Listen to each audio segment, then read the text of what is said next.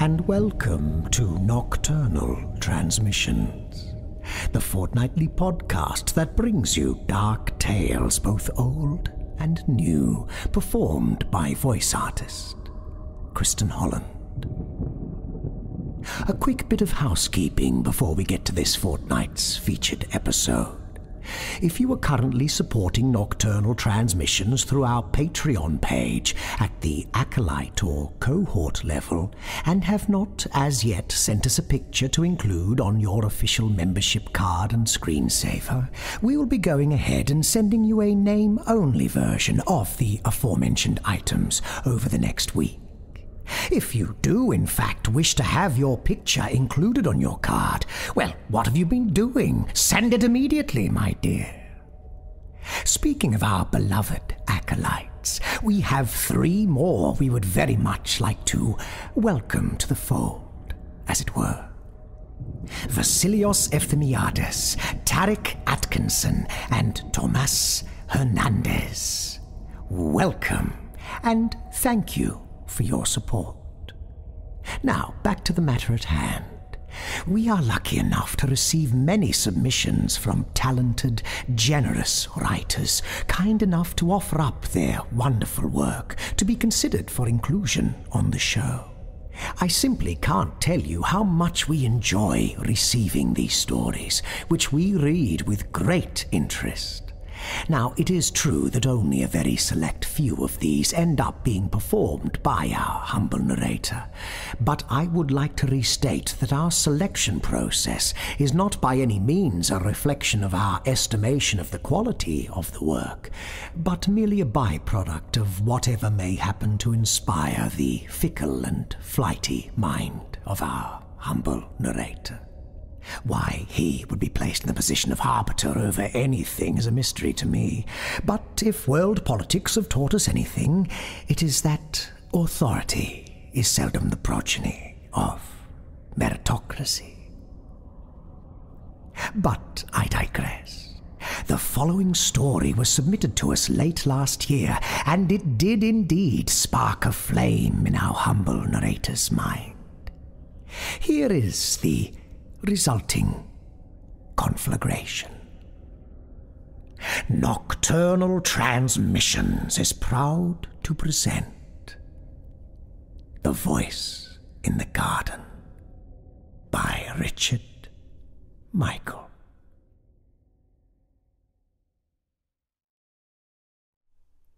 Part 1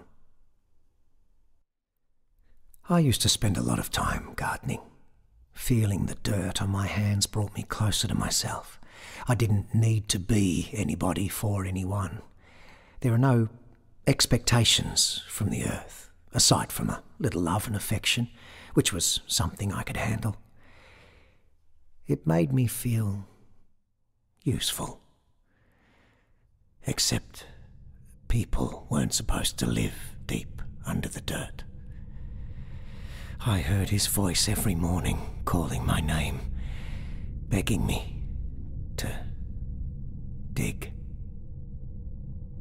He said he could show me how to be happy, free. At night, I'd sit up in bed contemplating those words. I considered digging, a means to an end, questions answered. I decided it wasn't a good idea and thought it best to retire my gardening hobby, at least for now. I'd stay inside for a while, find something new to kill the time. Not long after, the blackouts started. I'd lose periods of time, sometimes minutes, sometimes hours. A few times I came to mid conversation with my wife, Natalie. We had been talking for some time, that was clear, but I had no idea what about. She noticed immediately. I'm sure the look on my face gave it away. I woke up in the garage one morning with a shovel in one hand, in the act of opening the garage door, and probably headed for the front yard. Whatever was underneath the ground was going to have me dig him out. One way or another. I decided being conscious was probably best. I timidly walked over to the garden and started digging. After a few minutes, I heard nothing, saw nothing, which started to ease my mind. I dug a bit more before hitting something firm. I pulled the shovel out of the ground. There was blood dripping from the pointed end. I threw the shovel down and ran inside. The voice shouted for me to come back. It was screaming my name. Nicholas. I told Nat I couldn't manage my depression on my own. I wish I'd come up with something better, something less accusatory. Being told you aren't the solution to your partner's problems is tough, sometimes impossible to digest. Nat was hurt by that, I'm sure. But sometimes a lie hurts less than the truth. She suggested making a doctor's appointment, even offered to make it for me, but it wouldn't have been enough. I juggled the idea of telling her about the voice. I don't know if she would have left. In the end, I guess I was too afraid to find out. Part 2 The ticking of the clock above the pantry door racked my brain. Tick, tock. It was getting louder. Tick, tock. Close your eyes. Breathe. Fuck. Nat, say something before I scream. I was back home for about two weeks and I needed something to keep my hands busy, my mind focused. I laced my fingers together over and over. I had to keep them moving. Idle hands are the devil's tools. Dishes clinking in the sink caught my attention. My wife's soft, soapy hands glimmered under the ray of sun coming through the kitchen window. It looked beautiful, like liquid diamonds. The bright walls of the kitchen gleamed with innocence, like a symbol of a clean slate. Something I very much needed. Sweetie, you okay? Natalie asked. She was looking down at her working hands in the sink but my silence must have concerned her. Her reflection rippled in the water as she scrubbed a pan. How about you get back in the garden? she asked. Come on, it'll keep those hands busy. I frowned. You know what? she said, drying her hands with the dish towel hanging from the oven. I have a surprise for you. Nat Please, wait, if this is something for the garden, I, I don't think it's a good idea. I said. Her caring eyes met mine. She smiled sympathetically before walking towards the garage. I was going to wait until later, but uh, you should have it now. She opened the door and flicked the light switch. In the centre of the garage lay a thin baby tree, wrapped with care in plastic. The roots were wrapped in soaked newspaper. Thanks, I said. I tried to sound genuine. Think it was enough. She cared about me, my wife. Nat tried hard to make me happy. Maybe too hard. It seemed exhausting. I was jealous of her strength, guilty for being so much work. Nat leaned her head on my shoulder. I held her and ran my fingers through her hair. It smelled like coconuts and the ocean. I closed my eyes, pretended we were there. What's it called again? You were going to plant one before, you know? She said, twisting a corner of her lips. A lavender twist weeping redbud. Fancy, Natalie said. Well, it'll bloom as beautifully as you in no time. She took my hand ever so gently and pulled me over toward the little tree.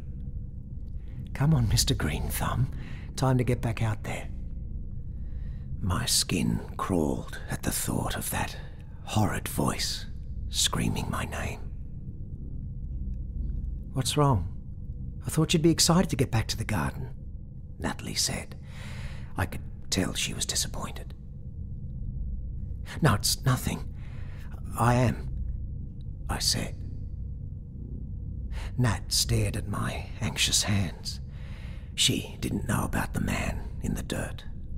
His tempting words, begging me to dig. She clasped her hands over mine. Nicholas, Natalie said, this is good for you. I'll be right at the window. Promise? I asked. I bought a new book to read while you play outside. I'm prepared to never leave that window. You won't be alone, okay? My hands finally started to relax. I nodded. You have to promise to check on me, I said. A lot. I'll be looking up every couple of minutes. Unless I gotta pee, then you're solo, but only for a bit. Natalie chuckled. You know how much I love my coffee. Natalie grabbed a book and made a pot of coffee while I reluctantly gathered a few things. The damp clumps of newspaper bunched up around the roots still looked nice and wet, so I rested the tree on the porch in the plastic wrapping until the hole was ready. I looked up to see Nat sitting at the dining room table with her favourite mug, she and a book. The coffee inside the mug was steaming. The smell of fresh mulch and topsoil calmed my soul, just like old times. I stuck the shovel in the dirt and took a deep, satisfying breath. It's just a hole, I said, pulling the shovel back out of the ground. This is just what you need. I stared at the sharp edge of the shovel and the clumps of dirt falling off. I glanced back up at Nat, flipping another page of her book. It's just a hole, I said again. You're better now. Each strike of the shovel into the ground sent a rattle down my spine. Nat was taking a sip of her hot coffee. She smacked her lips in satisfaction, looked up at me, and waved. I smiled. I felt ridiculous. She furrowed her brow and gestured a thumbs up as if to ask if I was okay. I nodded. Hey! It was a familiar voice, the one I didn't want to hear. Look! It said, spitting out a mouthful of dirt, pieces at a time. You're not real, I whispered. It's just me. You're not real. Bullshit. Look at me. No, I said. I raised the shovel and brought it down hard into the hole. I danced around, awkwardly bent over on the tips of my toes, trying to maintain my balance. It spoke calmly. Still here. Look at me. Sticking out of the dirt was the bottom half of a pale face. The shovel had sliced its cheek, spilling blood into the soil. He wasn't visibly bothered by the wound, peeling chunks of dirt from between its teeth with its tongue. No! I shrieked. Well, keep digging, I've been waiting, he said. You're almost there last time. I knew you'd come back. Natalie's mug was no longer giving off steam. Her book was folded over on the table. Nat was gone. Maybe she went to the bathroom, like she said. My fingers fluttered like anxious moths flying into a pale, buzzing light. Look at me, he said. I came to my knees and leaned over the hole. I started digging again, this time with my hands, pulling the dirt away to reveal the rest of its face. Its bulging white eyes studied me. Ah, there you are. He looked just like me. I wanted to kill it, destroy the madness and fear that had consumed me. I stabbed the shovel into the top of its skull, cracking it wide open. More blood was spilling into the dirt. Its eye bulged and went bloodshot. I'd prefer if you used your hands. Gentler, he said, unfazed. I spun the shovel flat side down and smashed his head over and over, grunting and heaving like a wild man. His head, my head, was a pulpy, swollen mess, but it still didn't shut him up. Why are you trying to hurt me? I haven't given you any reason, it asked me. The words popped from its mouth with small, dribbling bubbles of blood tinged saliva. How the fuck are you still alive? I asked through gritted teeth. His head cocked to the side, spilling the contents of his skull over into the hole. There are many things you will never understand in this life, Nicholas. The head was rocking back and forth while it spoke, pushing the dirt aside enough to reveal its shoulders. If you dig me out, I can help you be free, Nicholas. I felt a sizzle in the back of my head. I couldn't break away from its gaze. Why do you look like me? I asked. Uh, it makes things easier. His grin stretched ear to ear. He had demanding, glowing eyes that looked like they could set a fire if he stared long enough. Makes what easier? You don't want to be this way for the rest of your life, do you, Nicholas? I swallowed the question hard. No. And what about Nat? He asked. I wonder what she thinks of you. I mean, she puts on a great face for you, Nikki, but I'm betting she gets tired of your shit.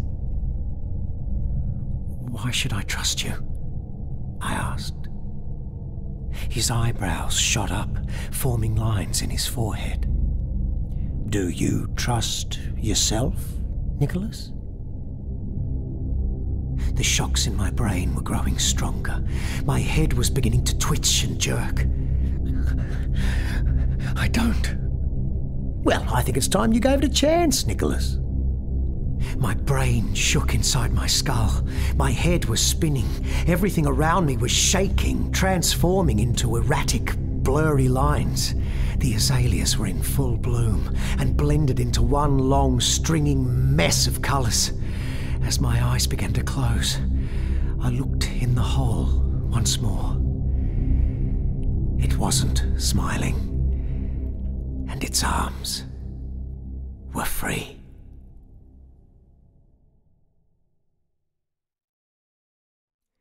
Part 3 A crescent moon tore a brilliant round slice of light through the black sky. The plastic wrapping on the porch looked different, rearranged. Something was wrapped up inside and stacked in a pile against the porch railing. On the porch sat the man from the ground, rocking in my chair. He was swollen and still bleeding. Patches of freshly scabbed flesh padded the side of his temple. His naked skin was deathly pale, covered in thin blue, tangled veins. What the fuck did you do? I exclaimed, scrambling to my feet. My feet felt soaked. They slipped around inside my shoes, making squishing noises as I made my way to the porch. Under the porch light, my shoes were covered in blood. Wrapped in that plastic sheet were perfect, gentle hands. The soapy hands that shimmered in the sun just this afternoon. I set you free, he said. The wood panels under the rocking chair creaked loudly in the silence between words. You've been a prisoner all these years, he continued. You and I both know that. I struggled with the plastic, trying to rip it open.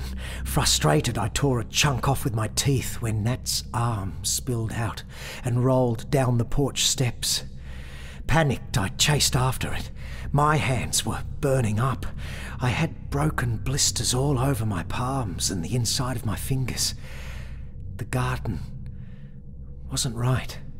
The plants looked wrong. It all looked wrong. You've always had a green thumb, the man muttered. It's beautiful, really, what you've done. Pieces of Natalie were planted all along the garden in place of the azaleas. Feet, fingers, parts I could no longer recognize were sticking out of small, raised piles in rows. Natalie's head protruded from the hole I had dug.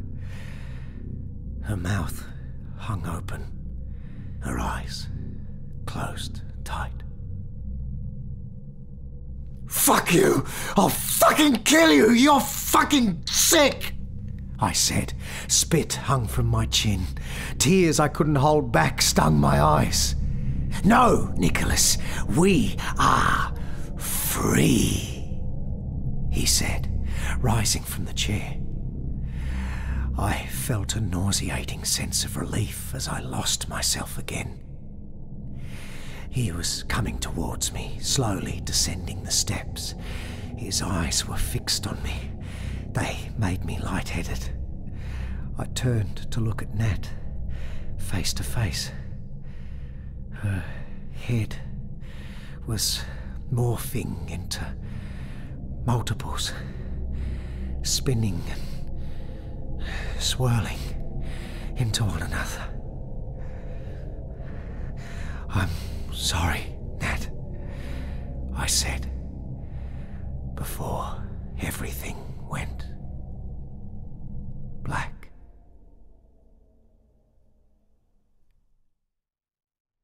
The rising sun woke me, and I immediately looked over at the porch. The buried man was gone, along with the plastic wrapping. I didn't know where the man went, but I didn't care. Things were quiet. I felt free. I stood up and checked the window for Nat. Her book was still face down, next to her mug on the table. The garden looked just wonderful. Nat was right. This is good for me. I knelt next to the baby tree planted in the ground. Strands of long black silky hair stuck to its frail twig like branches and danced in the breeze. It smelled like coconuts and the ocean.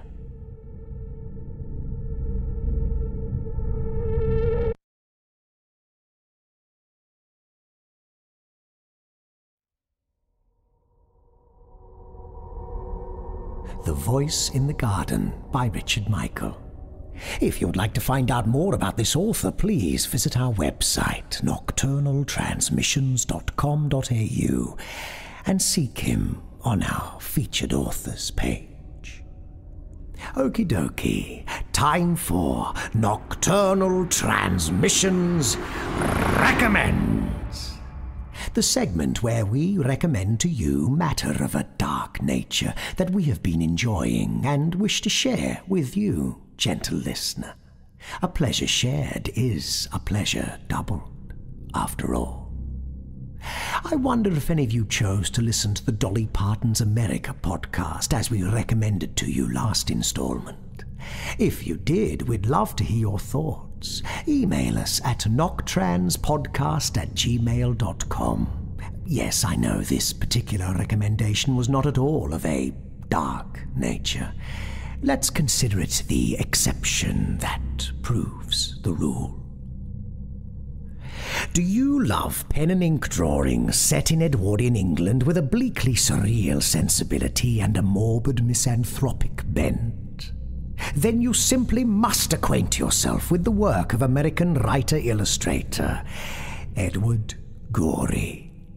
Why, only recently, while sheltering inside during a bleak bout of autumn morning rain, we happened to sweep up a couple of Mr. Gorey's Amphigorey collections to while away the time, and we were finding so much pleasure in his deliciously mean spirited tales that we thought we simply must recommend Mr. Gorey to you, gentle listener, on the off chance you were not yet familiar with this marvelous artist.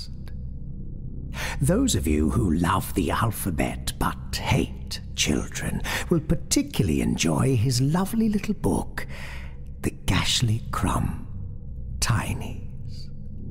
You know what? Here's an extract.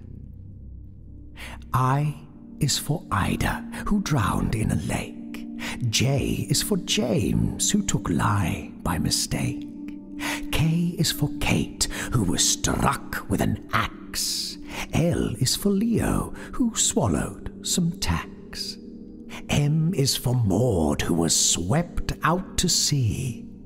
N is for Neville, who died of ennui. Oh, gentle listener, if I could but conjure up the accompanying illustrations through spoken word, I have no doubt you would run at breakneck speed to your nearest bookseller that you might be afforded the opportunity to add a copy of this little treasure to your library. As I mentioned, we have been enjoying a couple of his Amphigorey collections.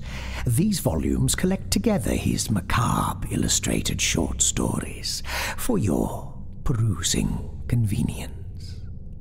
I believe there were four of these at last count Amphigorey, Amphigorey 2, Amphigorey also, and Amphigorey again. Do indulge yourself, gentle listener poring over the stories of Edward Gorey in the morning while it's pouring with rain. Nocturnal Transmissions recommends it. This episode was brought to you with the generous assistance of our cohorts. Evan Dooley, Michael Wood, Sam Bell, and Robert Troy Hampton Peterson. All non public domain stories are featured with the permission of the authors. All voices and production are concocted by Kristin Holland. Until next time, as always, watch the skies, fear the dark, and don't trust anyone. Especially yourself. Good night. Gentle listener.